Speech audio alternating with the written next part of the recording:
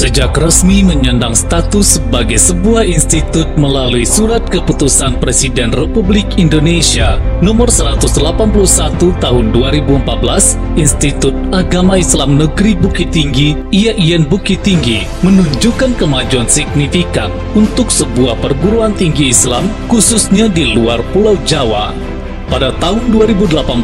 Kementerian Agama Republik Indonesia menobatkan IAIN Bukit Tinggi sebagai perguruan tinggi keagamaan Islam negeri atau PTKIN terbaik dalam kecepatan dan ketepatan realisasi pembangunan infrastruktur melalui sokongan Surat Berharga Syariah Negara atau SBSN IAIN Bukit Tinggi juga termasuk lima besar terbaik dari seluruh PT KIN di Indonesia dalam realisasi pembangunan infrastruktur melalui sokongan SBSN sejak lima tahun terakhir.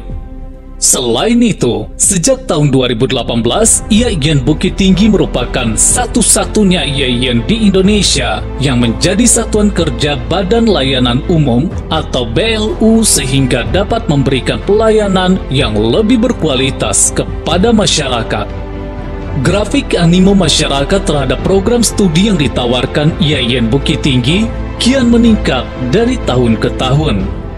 Tingginya animo masyarakat itu tidak terlepas dari berbagai keunggulan yang dimiliki IAIN Bukit Tinggi. Di antaranya, memiliki izin empat program studi umum dari Kementerian Pendidikan dan Kebudayaan pada tahun 2012, memiliki program diploma, S1, S2, dan S3 yang terakreditasi, menjadi perguruan tinggi Islam negeri dengan peminat terbanyak kategori IAIN se-Indonesia tahun 2020 dan 2021, sehingga menempatkan IAIN Bukit Tinggi sebagai salah satu kampus terfavorit di Indonesia dengan peminat mencapai lebih dari 14.000 orang melalui jalur seleksi prestasi akademik nasional perguruan tinggi keagamaan Islam negeri pada tahun 2020.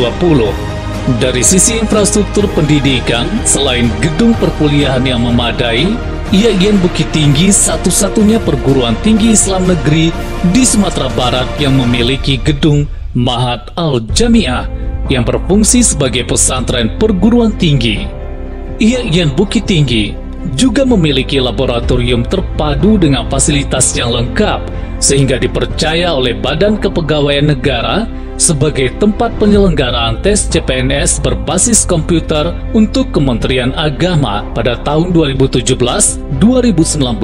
2020, dan 2021, serta untuk empat pemerintahan daerah di Sumatera Barat tahun 2021. Di tingkat nasional, IAIN Bukit Tinggi dipilih oleh DPR RI sebagai perguruan tinggi yang memberikan masukan untuk draft revisi Undang-Undang Perkawinan di Indonesia tahun 2007 dan draft RUU Pendidikan Agama Islam di Indonesia tahun 2017. IAIN Bukit Tinggi berada di lokasi yang strategis dan mudah dijangkau dikelilingi oleh lembaga pendidikan yang bersejarah dan terkenal secara nasional, serta memiliki modal sejarah sebagai daerah yang melahirkan banyak pahlawan dan tokoh nasional. Melalui visi terdepan dalam integrasi ilmu pada tahun 2025, IAIN Bukit Tinggi mengusung pandangan non-dikotomi sehingga tidak lagi menempatkan sains dan wahyu pada garis kontradiktif, namun bersifat dialogis dan bahkan integratif, interkonektif. Pandangan keilmuan yang non-dikotomi ini juga menjadi landasan filosofis bagi IAIN Bukit Tinggi yang kini tengah bertransformasi menjadi salah satu Universitas Islam Negeri di Indonesia.